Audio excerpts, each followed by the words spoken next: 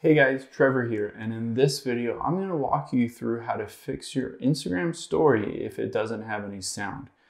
So if you're watching, say, an Instagram story, let's open up Instagram.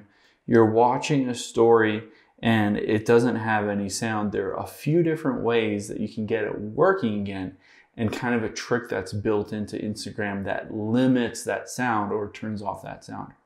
Now, the very first thing that you'll want to do, of course, is just to swipe down from the top right and you can see the sound icon to the right here. You want to just make sure that that's turned up. It's not all the way down to zero.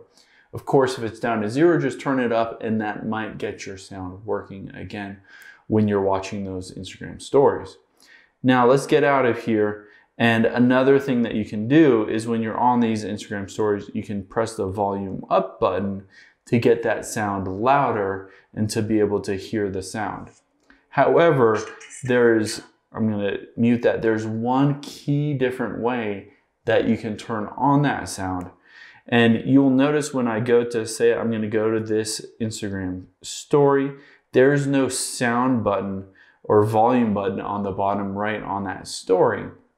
However, if you look at this post by Statista, you can see at the bottom right, there's a little volume icon and I currently have it set to mute.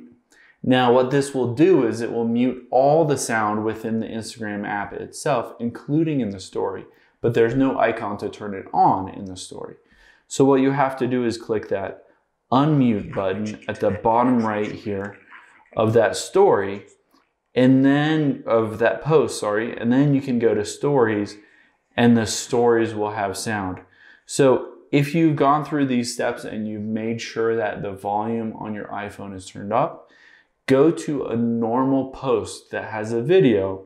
And at the bottom right, if there's a little muted icon right there, tap the unmute button and then go into your stories and you'll be able to watch those stories with sound. Hope this helps. Let us know if you have any questions in the comments below and make sure to subscribe. Thanks.